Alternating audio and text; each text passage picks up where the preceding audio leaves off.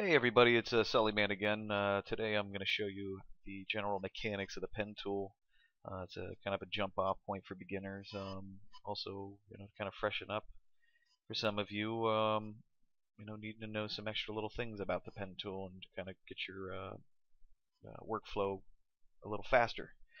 So we're going to go ahead and start off by uh, just showing you the pen tool itself. Um, this is where you can find the pen tool or use the shortcut P. As you can see when I hover it lists it off. Now if you click and hold it's going to show you the uh, additional three sub tool uh, or sub tools in the um, pen tool category. Um, so when you have the pen tool activated um, if you hit plus you can add an anchor point to the path. If you hit minus you can uh, subtract an anchor point from the path. And then you have convert anchor point tool, which once you've laid down uh, a couple anchors, um, creating some paths, some you have Bezier, which a Bezier is just a curve essentially, uh, or straight lines. You go back and, and the Bezier you don't want to have as a Bezier anymore. You want it a straight line. Use the convert anchor point tool to kind of alter stuff like that. Um, and there's also some shortcuts while using the pen tool to do specific things, like using the space bar to move an anchor point around. So you clicked initially somewhere where you didn't want to, if you hit spacebar while still holding down, you can actually move the anchor point around. It's a pretty nifty little shortcut to know. So I'm going to go ahead and uh, click on Pen Tool and kind of get this started. Um, so when you're working with the Pen Tool, you got to click somewhere to create your initial node or anchor point. Um, so what you're going to do here is click, and there's our first anchor point, a little dot. Um, now to Bezier, what you're going to want to do is to click and hold. So right now there's no Bezier. It's just a straight path to the second node that we've created. Now to Bezier, while you have the left click still hold, move further away from the node and what I like to call it is the uh, the the Bezier strength bar. As I guess we'll call it. I'm not exactly sure the terminology for it, but uh, the strength bar shows the bend, um, and this is kind of how I um, will relate it to you and how I think of it in my head. So I've released. Now what we have here is the first node or anchor point and I clicked and held and stretched away from the second anchor point or node and what I'm left with is this um, the strength bar. Um, now this is how I think of it. The when you click on the node the bar to the left is your the past strength. So this path would be the past like in you know future past or present the past strength bar this one to the right will be the future strength bar. So now with this uh, strength bar still here, it's going to add a Bezier to the third anchor point. I'm going to click and show you. Here's the click, and it add, added a bend using this strength um, for the third node that I've made. I'm going to go ahead and hit undo, uh, which is undo. Uh, you can go to edit, undo, shortcut, control Z. I use that quite a bit, so learn control Z. Um, see I accidentally clicked there, control, and hit Z, and I can go back in the past. So now, uh, back to the beginning point. So we, this is the second node. We held, added, added a Bezier, and from this point, we want a straight line to our next one. So what we're going to do is actually click the node to close it. And now we've closed it. And as you can see, the future Bezier bar has disappeared. So now I'm going to click to my third point, and we have a straight line. So that's those are the essential um, ideas behind using the pen tool.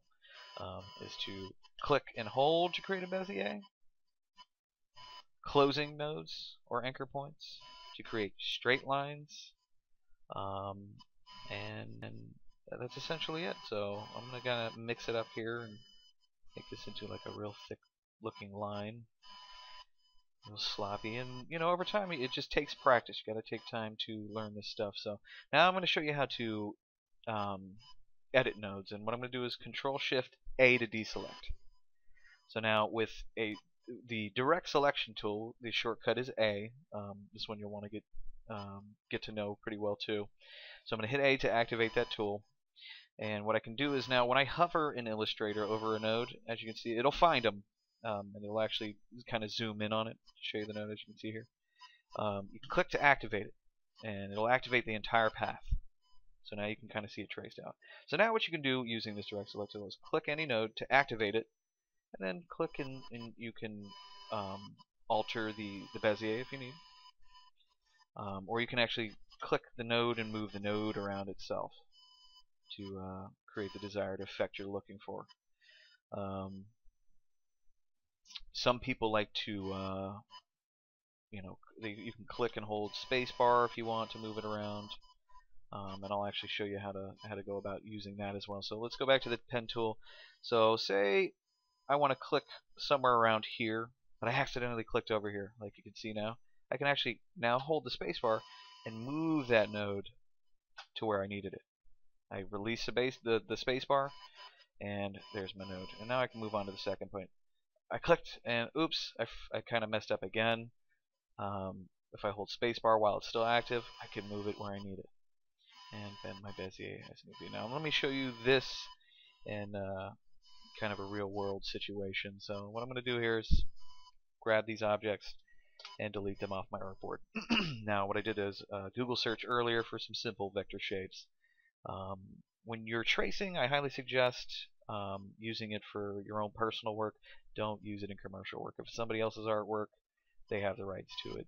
Um, it's not a good idea to be using it. So what I did is right click, copy the image. I'm going to go back to Illustrator and I'm going to hit Control V or you can go to Edit, uh, Paste.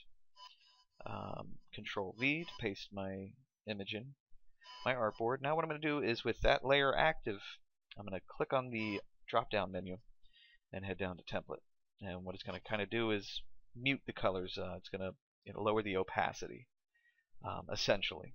Um, think of it almost like putting a piece of wax paper on your drawing. It'll look kind of muted out so you can see what you're doing. And I'm going to create a new layer. Hit the uh, new layer button here.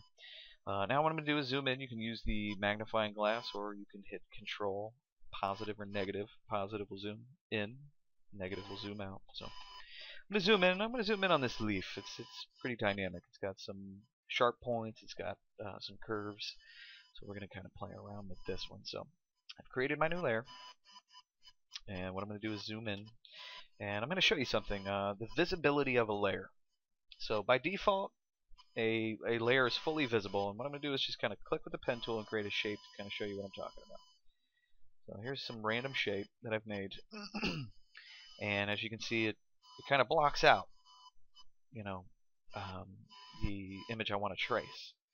So the example would be, so say I'm clicking, I'm, I'm tracing, and eventually you will get quick enough to kind of move like this.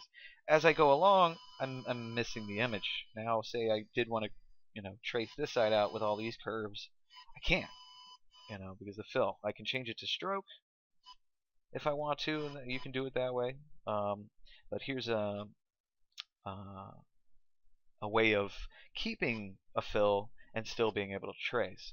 So what I'm going to do is I'm going to go ahead and delete the shape.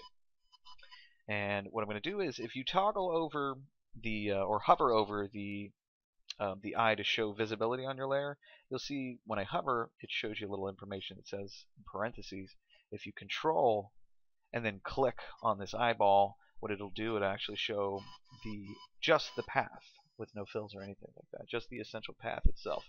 And I'm going to hold control, click on the uh, on the eye, and now you can see with this shape, it's just showing the path but when I turn it back on, it's still the filled layer, which will save you time instead of having to you know create an object with a stroke and then having to go back and, and make it a fill. It just kind of saves you time. So I'm going to go ahead and delete that random shape. I'm going to go ahead and turn the visibility to just paths by holding control and clicking on the eyeball. Click P for my pen tool or click the pen tool and I'm going to go ahead and get started. So I'm going to start here by clicking. And I've created my, uh, my first anchor or node. I'm going to click to a second point that's a reasonable distance away. We don't want to have a million uh, anchor points. We don't want to keep doing incremental this small, and that, that kind of de defeats the purpose of a Bezier. So, as you can see, this this has one, the initial, two, three, four, five nodes. You kind of want to keep the nodes down. So I'm going to go ahead and start back from my uh, first one. Um, and click to this point because it should be just one bend so now you can see instead of having five nodes, I've created um, or anchors. I uh, now I'm down to just two nodes or anchors. So as you can see, I've created the bend. Now it's a sharp point from here. Um, now with the future uh, Bezier strength, if I click to my next point, this is what will happen. So I'm going to click here to my next point. as you can see, it's already added that Bezier um, with the um, second node's uh, or Bezier's strength bar. We don't want that to happen, so we're going to have to close the node like I showed you. I just hit Control Z to undo. I need to close that anchor or node and move on to my next one. So I'm going to click and hold to create my Bezier and keep moving with the Bezier because it's just a soft, um, smooth curve. So I keep the Beziers open. And here it's a sharp point, so I'm going to click and end. And I'm going to keep moving and uh, tracing my object, closing nodes as need be, and moving along, keeping the Bezier open when I need to, and closing. And just moving along. And, and the more you practice, the better you'll get.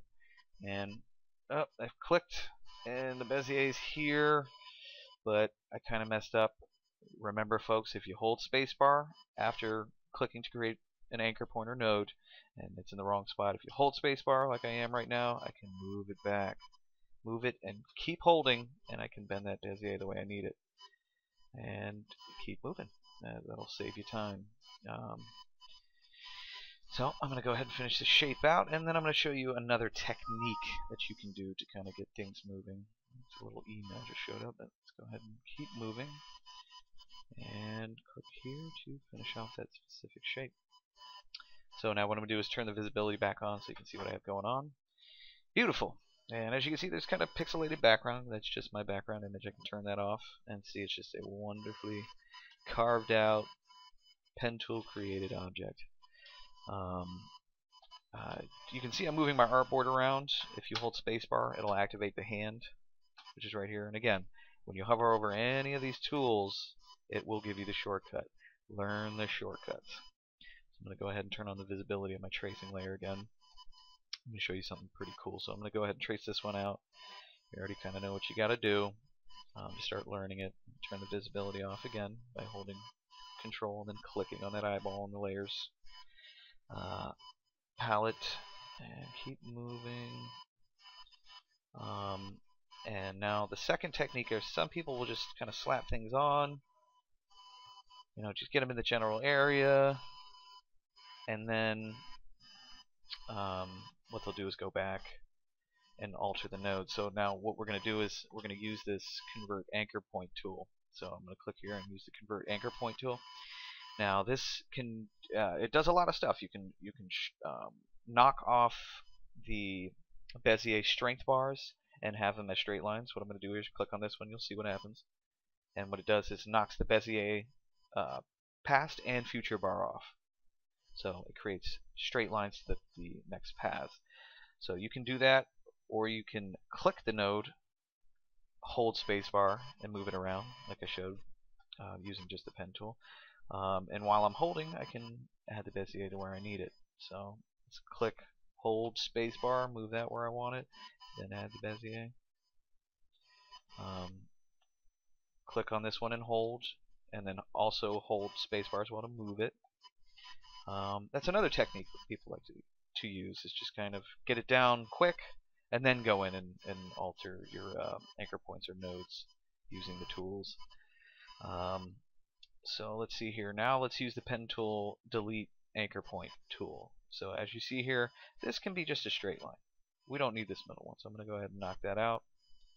Um, or if I need to add one, I can go to the add or while the pen tool is activated, hit the plus tool, um, and let's see here. Um, we'll just say for um, the fun of it, we're going to click here again, add that node back in. Um, so now using the direct selection tool, we can click on that note to activate it and move it around if you want uh, sharp points to your leaves. So I'm going to turn on the visibility for the layer. I'm going to turn off the tracing layer.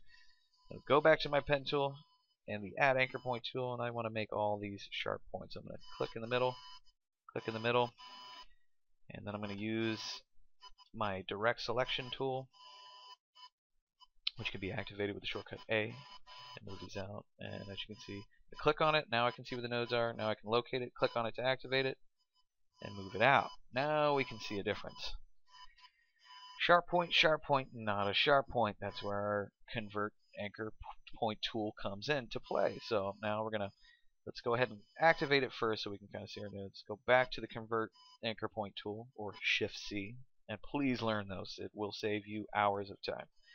So now with the convert anchor point tool activated, I'm going to click this node to knock out the past and future strength Bezier bar. And that's what we have. This one, we, we want them straight. So this one actually has to be knocked out as well. So let's click that one to knock it out. Let's use our direct selection tool to alter the Bezier on this node to make it nice and perfect the way we would like it. But that's essentially it, folks. Um, that's the general mechanics of the pen tool and its subtool um, tools. Um, you know, I hope you've enjoyed this. I hope it was a learning lesson for you. Um, but yeah, uh, definitely, like I said, learn the shortcuts. They will save you time. I just want to thank everybody for watching. If you'd like to find out more about the t-shirt industry, along with uh, art techniques, just like the one you just saw, uh, head over to t-shirtforums.com. You can find me under the username Sullyman. Uh, if you'd like to see my body of work, uh, head over to deviantart.com, and the URL you can find me at is sullyman.deviantart.com. Again, thanks for watching.